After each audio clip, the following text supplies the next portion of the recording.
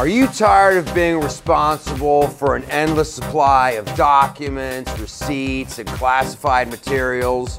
What are you supposed to do with all that important paperwork? Right? Idea. Why don't you trust the Biden family storage facility? Take those important documents and let us take care of them. We have facilities all over. So many, I've lost track myself.